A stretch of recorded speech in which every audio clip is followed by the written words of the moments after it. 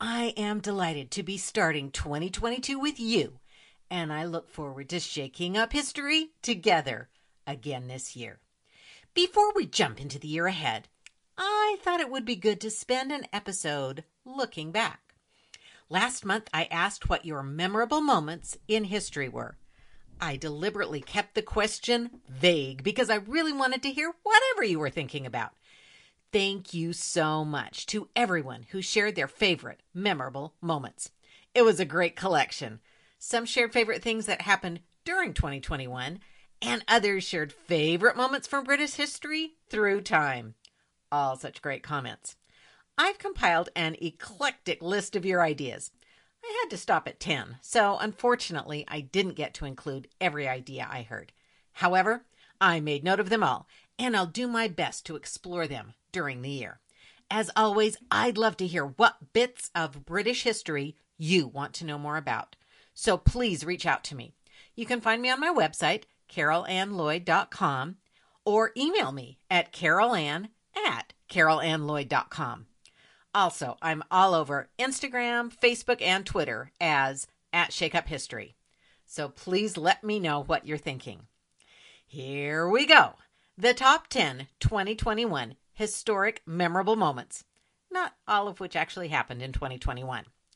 Coming in at number 10 is the milestones of the modern royal family. Now, as you know, I try to steer pretty clear of the modern royals, especially the controversies surrounding them. It's all a bit divisive right now, and most of us don't really know what's going on.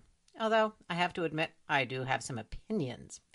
But the historic moment of 2021 is really important, especially as we embark on 2022 when we will mark the 70th year of the reign of Her Majesty the Queen. So, which historic event happened that was really important in 2021? A clue. I'm not talking about that interview. In fact, it was more of a personal moment the death of the Duke of Edinburgh on the 9th of April 2021. He was 99 years old and would have celebrated his 100th birthday just a couple of months later. Prince Philip had retired in August 2017, but he did make a few more public appearances at family occasions, such as Princess Beatrice's wedding. The official statement of his death read, quote, It is with deep sorrow that Her Majesty the Queen announces the death of her beloved husband, His Royal Highness the Prince Philip, Duke of Edinburgh. His Royal Highness passed away peacefully this morning at Windsor Castle. The funeral plans had been in place for years, but they had to be modified significantly because of COVID 19. The image of the Queen sitting alone in St. George's Chapel at Windsor Castle was a powerful sign of her new reality without Philip by her side. In her Christmas speech of 2021, the Queen began by saying, quote, Although it's a time of great happiness and good cheer for many, Christmas can be hard for those who have lost loved ones. This year, especially, I understand why. She went on to pay tribute to Philip. Quote, I have drawn great comfort from the warmth and affection of the many tributes to his life and work from around the country, the Commonwealth, and the world.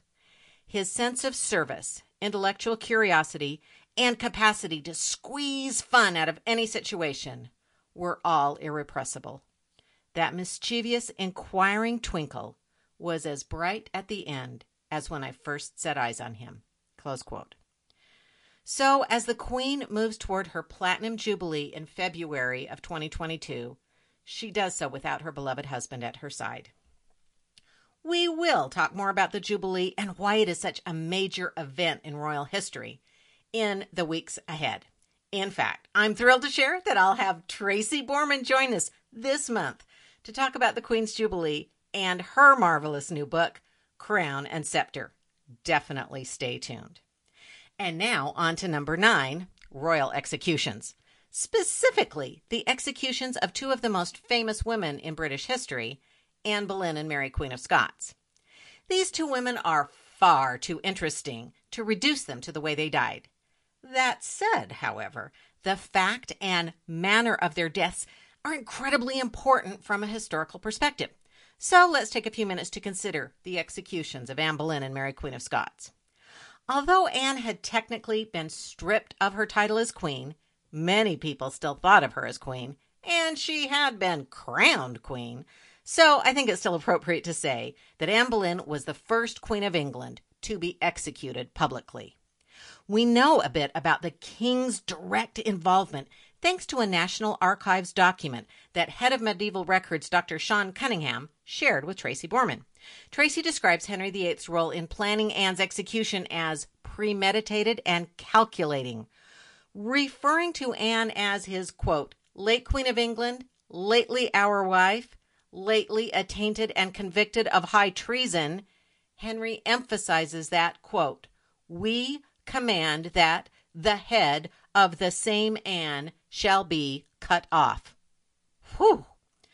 Why did Henry take the unusual and unrepeated step of sending for a French swordsman, an expert in beheading, to execute this woman he had once loved? I don't think it was about pity or showing a bit of mercy or Anne's previous connections to France. Having someone beheaded was sometimes a messy business requiring more than one blow of the axe. The potential of a bloody execution would have been worrisome for Henry, I believe. He was so careful in his instruction and so concerned about the appearance of the event. I think that's why he opted for the more reliable French executioner. Henry thought that the means of execution would make him look merciful and in control. I don't think it was really about mercy. I think it was about appearance, a clean kill. I think sending his second wife to her death unleashed demons in the king that would never be put to rest until his own death 11 years, four wives, and numerous executions later. And what about Mary Queen of Scots? It's a little ironic that the daughter of Anne Boleyn would send the Scottish queen to her death. After being Queen of Scotland and Queen Consort of France, a couple of disastrous marriages and a forced abdication sent Mary to Elizabeth's England in 1568. Everything changed for both women when Mary arrived. She was a constant threat to Elizabeth's reign, the rallying cry and alternative for Catholics in England and throughout Europe. And numerous rebellions were launched with the aim of assassinating Elizabeth and installing Mary on the English throne.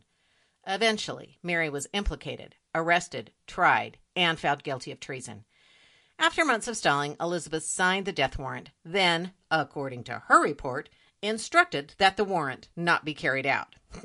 Elizabeth's council wasn't having it. Cecil moved immediately, and Mary's execution was carried out within a week. On the 8th of February, 1587, Mary was executed at Fotheringhay Castle. The execution was huge news across Catholic Europe, and there are a few contemporary reports. Unlike Anne Boleyn, Mary was not beheaded by a French swordsman. Instead, according to reports, it took three blows of the axe to remove her head, creating the very scene of horror that Henry VIII had managed to avoid. The executioner then held up her head, calling out, God save Queen Elizabeth. But her head fell away, and he was left holding just her wig, a red wig that had hidden her gray hair for years. The final tragic moment was when her little dog appeared from under her skirts and tried to stay with her after her death.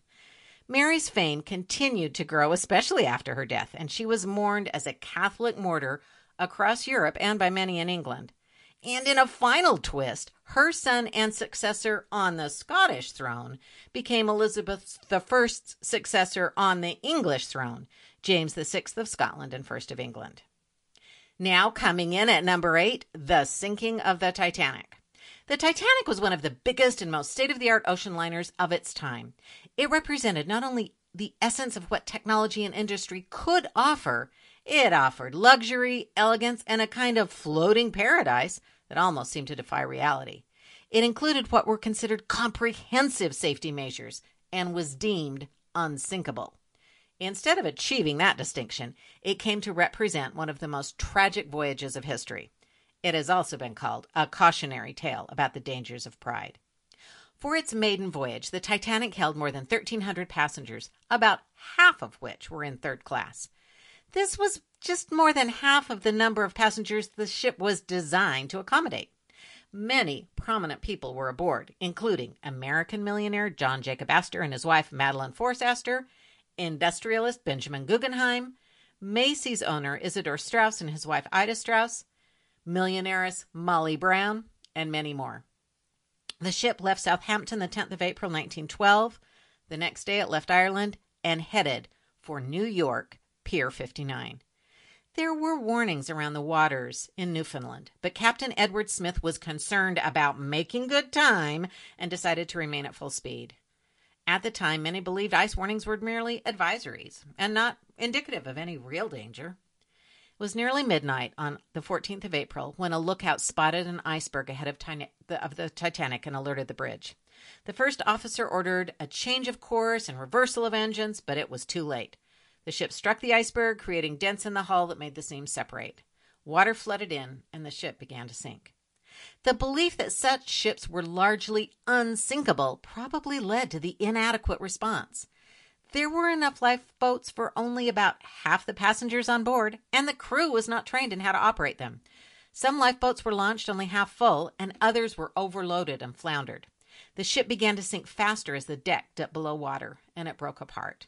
The passengers who remained, including nearly all the third class passengers, were immersed in the freezing water. Eventually, little more than 700 people survived and were taken to New York by the Carpathia. At least 1,500 people perished, and some survivors died soon after arriving in New York from injuries and exposure.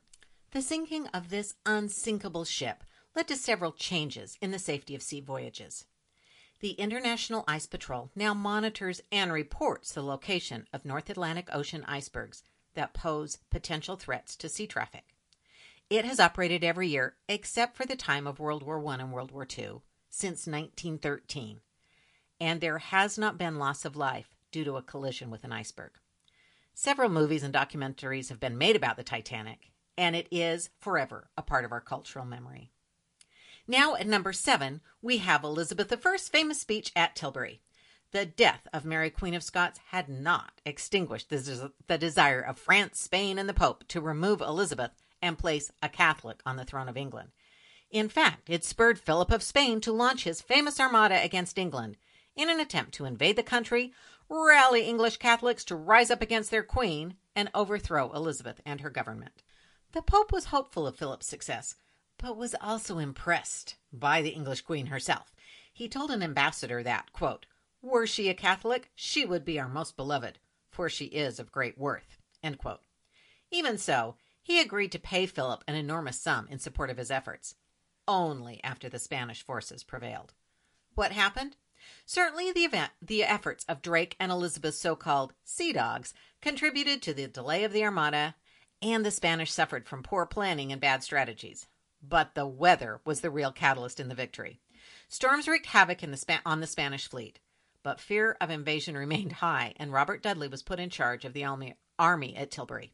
He arranged for Elizabeth to visit and rally the troops. It was here that she gave one of her most famous speeches. Even without cable news, social media, or TikTok, we have a copy of that speech. The British Library holds a document that is a contemporary record of the Queen's speech. You can see it on the library website. I'll include a link in the show notes. It's in this speech where the Queen declares herself to have the body of a, quote, weak and feeble woman, but I have the heart and stomach of a king and a king of England too, end quote. She goes on to say that she thinks it, quote, foul scorn that Parma or Spain or any prince of Europe should dare to invade the borders of my realm, to which rather than any dishonor shall grow of me, I myself will take up arms. I myself will be your general, judge, and rewarder of every one of your virtues in the field. We know that the Armada ships had already been fatally weakened, weakened and were on their way back to Spain when the Queen made the speech. Still, it was important at the time, and it reinforced Elizabeth's ongoing attempts to prove she was capable of ruling despite her gender. As Philip had described his campaign as a quote, holy war, it was easy for the English to use the weather as a sign of God's will. The Tudor propaganda machine went to work, and the Armada medals bore the inscription Flavit Jehovah et dissipati sunt. God blew, and they were scattered. The Armada became a symbol of Elizabeth as Gloriana, complete with the multiple copies of the Armada portrait that show her as supremely victorious. It was An important moment for England on the European stage and for Elizabeth, staking her claim as queen. Her Catholic subjects had not risen up against her, and she had held her throne against larger and better funded adversaries. Now, here we are with number five the Glorious Revolution and the fake news event that kicked it off the warming pan baby scandal. Despite my well documented obsession with the Tudors, I am delighted to see that the Stuarts are grabbing attention as well. We're joining the Stuart dynasty during the reign of James II. He had been first married to Anne Hyde, who bore him two daughters. Although James himself was Catholic, he agreed that daughters Mary and Anne would be raised as Protestants, and since Mary would succeed him, that settled the ruffled feathers about James being a Catholic king. However, after Anne Hyde's death, James married again, this time to the Catholic Mary of Modena. But even though Mary had children, none survived, and the people were satisfied that the Protestant princess would succeed her father on the throne. Mary of Modena threw all this into chaos when she gave birth to a healthy baby boy, James Francis Edward, on the 10th of June, 1688. As a son, the baby immediately leapfrogged over his two half sisters in the line of succession, and he became heir to the throne. That meant a Catholic heir. Parliament's powerful Protestants were not about to let that happen. The laws of the time didn't actually forbid a Catholic succession, so their only hope was to convince everyone that the royal baby wasn't really royal. The story went out that, despite the number of government officials who had been there and observed the birth of James Francis Edward, Mary had in fact miscarried or not really been pregnant, or maybe the baby had died. In any case, there was no baby. So Mary had smuggled in an impostor in a warming pan. There was no way to accept this argument on its merits. It required an agreement that gaining a Protestant ruler was worth agreeing to live a lie. Parliament reached out to Princess Mary's husband, William of Orange, and asked him to invade England on behalf of his wife. Princess Mary sided with her husband over her father, and her sister, Princess Anne, did as well. James II sent his wife and young son to France for safety and tried to rally his troops in England to stave off the invasion. But his military was convinced to support William and Mary. Eventually, James fled to France as well. That created an alternative royal family, and for years, Jacobite supporters attempted to return James Francis Edward, later known as the Old Pretender, and eventually his son, Bonnie Prince Charlie, to the throne. But those attempts were unsuccessful. William and Mary took the throne according to the terms set out by Parliament. This included the Declaration of, Law, of Rights, later called the Bill of Rights and passed into law in 1689. The relationship between monarch and Parliament was changed forever. And we still feel the effects of the Glorious Revolution today. The stipulation that a monarch cannot marry a Catholic was not reversed until 2015. And a Roman Catholic still cannot become the monarch. That law came into being because of the Glorious Revolution, which was kicked off by the warming pan baby scandal. And now let's look at some of the events of 2021 that made your list. I'm carrying on in my own numbering, so for memorable moment number five, we have online programming. I know I'm not alone when I say the last two years, 2021 and 2020, have been tough really tough illness and death and isolation and lockdown and crushing loneliness and fear tough. And as we try to carry on and move forward, it's been helpful to have some things come along that cheer us up and make us feel more connected. Thank you to all the organizations and individuals who have made such creative efforts to bring us programming online. Since we're talking about British history here, and since I know many listeners like me are absolutely aching to get back to Britain, I especially appreciate organizations bringing British history into our homes. For example, are you feeling sad, or in my case, totally gutted, that you can't attend the Elizabeth I and Mary Queen of Scots exhibition at the British Library? Well, then I hope you've joined me in taking advantage of their online programs. You can take an online tour of the exhibition. You can check out videos of past events. You can see items online. The British Library website is definitely your friend right now, and I encourage you to explore. They offer talks, courses, and all kinds of things to keep us sane until we can walk into that magical space once more. Are you missing the Tower of London and Hampton Court? Oh, me too. So be sure to check out Historic Royal Palace's Crowdcast events. Lucy Worsley is joined by all kinds of fascinating people who share what they're doing. You'll hear from curators, historians, and others. Did you celebrate Christmas with Victoria and Albert? Did you walk through the last days of Anne Boleyn? It's amazing what they're offering. And here is a personal plug from me to join places like Historic Royal Palaces and the British Library as a member. It's even more important now to support cultural organizations like these. We not we may not be able to be there in person, but we can be there in spirit. So those are just a couple of my favorite online offerings. What have you been watching and listening to during these tough years? I'd love to hear from you. Let's share our resources and find all kinds of new ways of connecting. More of 2021 with number four the marvelous and stunning discovery in Anne Boleyn's Book of Hours by the equally marvelous and stunning Kate McCaffrey at Hever Castle. I was thrilled to have Kate join me in episode 75. If you haven't listened yet, you must. She is wonderful in every way. She talked about how she was able to uncover unknown inscriptions in the religious book owned by Anne Boleyn. Using these inscriptions, Kate was able to identify a network of Anne's friends and supporters who worked together to keep her book safe. Kate's research unlocked a personal side of Anne Boleyn and her life that we hadn't been able to see before. Kate studied the printed prayer book that once belonged to Anne and is now part of the collection at Hever Castle, Anne Boleyn's childhood home, and one time Boleyn family headquarters. Before Kate's discovery, the only known inscription in the book was Anne's own couplet Remember me when you do pray, that hope doth lead from day to day. But on closer inspection and using ultraviolet light and photo editing software, Kate uncovered partial transcriptions of four other inscriptions that had later been erased. Using the information, Kate put together a provenance of this book, revealing a network of the mostly women who kept the book safe after Anne's dramatic fall. The book also reveals connections to other important women in Anne's story. Kate discovered that the edition of the prayer book that Anne owned was also owned by Catherine of Aragon. Catherine's copy is now held at the Morgan Library in New York.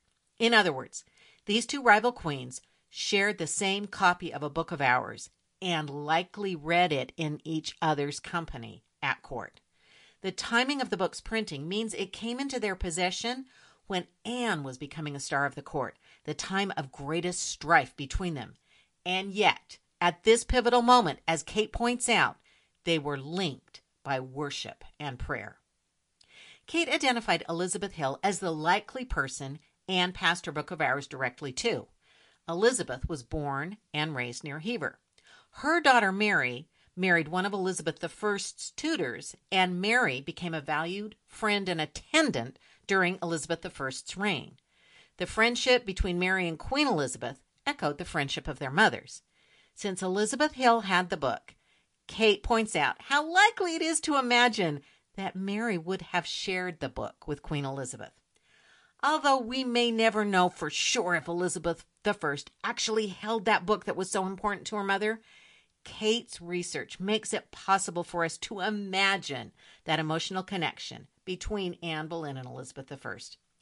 And who knows what Kate's ongoing research will uncover next. Stay tuned. For us, on to another favorite 2021 moment, once again featuring Anne Boleyn. Antique dealer Paul Fitzsimmons purchased a carved bird for 75 pounds in 2019. He was convinced it was something special, even though it was covered in black, probably soot. He noticed the crown and scepter and realized it must be a royal bird. When he cleaned up the object, he was able to compare it to a drawing from Hampton Court Palace, which had been dramatically renovated during Henry VIII's courtship of and early marriage to Anne Boleyn. The object, originally simply identified as, quote, antique carved wooden bird, has now been authenticated as Anne Boleyn's heraldic album emblem. It probably was originally placed in her royal private apartments at Hampton Court and is something she would have looked at frequently. Tracy Borman said it was amazing to be in the same room with something that would have been so familiar to Anne herself. She described seeing the object in person and thinking how it would have fit right in to Hampton Court was a quote, shivers down the spine moment. Like the Book of Hours, which was kept safe after Anne's fall from favor, it's easy to imagine that this falcon was removed and kept safe, probably by supporters of Anne. In fact, thinking about the removal of the falcon from its place of glory, just as Anne was coming to her tragic and violent end, Fitzsimmons said, quote, This could have been removed literally as Anne Boleyn was about to have her head cut off. It's a stark image, but the survival of the falcon is a reminder of Anne's supporters and how history continues to reach out to us today. And now I'm coming to a couple of memorable moments of my own. Memorable moment number two is a huge shout out to my patrons. I was hesitant to start a patron program, just as I was hesitant to start the podcast itself. But I have so many friends and supporters who have been so encouraging. I took a chance and did it. I want to thank all my patrons. Your support means the world to me. There are a few special people in particular who regularly reach out and share their thoughts and ideas with me, and I want to give them a special shout out. And please forgive me if I mispronounce your name. Get in touch and correct me. Lauren Watson, Margot Thorson, Helen Gibson, Christine Hyman, Leah Padiglioli, and Robin Millay. Thank you so much. There are lots of treats in store for patrons in 2022. So if you've been thinking about it, now is a great time to join the Royals, Rebels, and Romantics patron family. And of course, my number one favorite memorable moment of all time, at least for this year, is being so blessed to be shaking up history with you. I want to thank each of you for listening, for sending me ideas, asking questions, for rating the podcast and leaving comments. I so appreciate your uh, support and encouragement. I'm grateful beyond measure that you are sharing this journey to the past with me. So, as we embark on 2022, let's make history and keep shaking up history together.